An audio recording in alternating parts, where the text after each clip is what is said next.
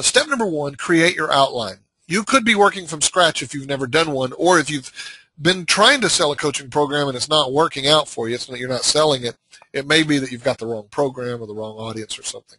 So if you're working from scratch, you can literally sit down and begin to outline what are the things that I can help people do and what steps could I take them through to help them get there.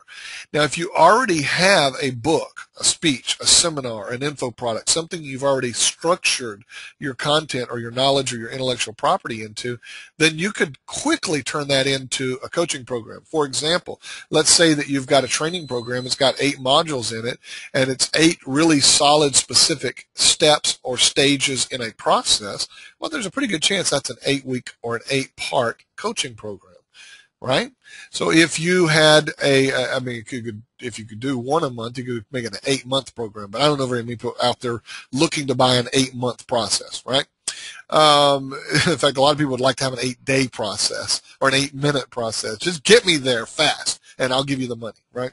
So if you already have a book and it has, let's say, 10 or 12 chapters in it, then it's possible you could take those chapters and turn those into steps or weeks or modules or pieces in your outline and make that into your coaching pro uh, program. Here's how I look at it. I believe that a book, an info product, a training program, or something like that is sort of like buying a roadmap. If you're going to a foreign country, you go and you buy a map for the area and you go, wow, there's a cool thing over here. So you put a little mark and say, okay, let's go to that. And then oh, let's go to this too. And you go put a little mark and you decide all these different places you want to go along your journey. And the, the challenge with that is if you get off down a back road somewhere and can't figure out how to get yourself out, or maybe uh, you're driving through an area of town in the middle of night when you should not be in that area of town, and you would have known that if someone would have been there to warn you. I look at coaching as being almost like a tour guide on that trip. So if you ever go on a trip and you really want to get the rich experience, sometimes it's really good to hire a tour guide. You can do that on a private basis. You can do that on a group basis with a group tour. But what does that tour guide do for you? They show you some of those out of the way places, some of the best hidden restaurants that none of the tourists go to. Only the, the locals go there, and it's got amazing food or this great band that only plays on Thursdays from 7 to 10. And a tour guide, if you get down a road and there's a big roadblock in the way, and you go, man, I got to get around here, but I don't even understand how these one-way streets go each direction. A tour guide goes left, right, left, right, we're there. Boom. They get you around those barriers or those obstacles. So that when you look at yourself as uh, JP, I already got a book, I already got an info product, that's your roadmap that you sell. But if you begin to sell coaching, that you step into the role as a tour guide and help take those people where they want, and many times in a faster pace and a much richer experience. Now, if you are working from scratch, you're going to be doing what I did whenever I started my speaker formula program. I'll give you a quick example of that. I never, ever, ever, ever intended to be a speaking coach, and I don't teach people how to speak per se. I teach them how to make money in the speaking business. But in uh, 2006, between January 1st and February 15th, I had 11 different people who were involved in a book project with me. They found out I was a speaker and what I did and some of the stages I spoke on and what all I'd done in that business. And they came to me in various shapes and forms and said, JP, I'd love to learn how to get in the speaking business. Can you teach me how? 11 different people. One of them was a guy in Canada. He said, JP, if you'll teach me, if you agree to teach me how to break into the speaking business, I'll wire you 10 grand right now and I turned him down. And I was, those of you that are married will appreciate this. I was riding in the car with Tanya. You saw her picture at the beginning of the workshop, but I was riding in the car with Tanya one day, uh, a few days after this, and I said, you know, I don't get it. All these people ask me how to be in the speaking business. I don't want to be a speaking coach. I don't want to teach people. You know, you all heard, you've all heard the phrase, those who can do, those who can't teach, right? And so I didn't want to be that guy. I was already successful in speaking business. I didn't need to teach people how to get in the business. And so I said, you know what? I've had 11 different people. I even had this guy in Canada offer to wire me $10,000 if I'd teach him how to get in the speaking business. And Tanya looked over at me across the car, and I kid you not, Daniel, she literally physically reached over and boinked me on the head.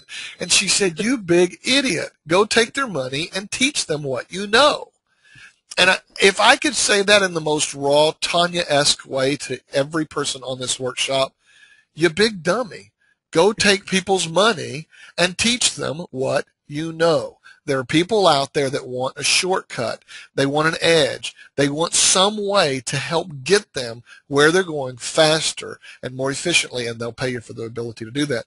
So, based on that wonderful spousal recommendation, I went home, opened up my laptop, flipped on Microsoft Word, and I started an outline, just like I'm telling you to do. An hour later, I had a 31 page outline and I said, crap, that's a bunch of stuff. I know how to, I know some stuff, you know, it's that shocking moment. And, uh, I said, you know what? Let me see what I can do. So I grabbed one of those banker's boxes, you know, that you pop out the ends on and turn it into a box. It's flat when you buy them. And I put that together and I started running around my office and our storage area and our shipping area. And I was grabbing all promo packs and uh, one sheets and uh, survey forms and questionnaires and uh, all kinds of stuff. Everything I used in my speaking business to get booked, what I did on site and what I did after the events to get booked again and get referrals. And I sat down at my desk. I had this box flowing over. I had a 31 page outline and I said, holy smoke, I've got a McDonald's franchise on the speaking business. And I wrote an email that said basically, it was in so many words, I'm going to do this program. I'm doing a pilot. It's going to be $10,000 a person. I'm going to do it for the first time for eight people at $5,000 a piece. And I had 43 people apply to be in that program.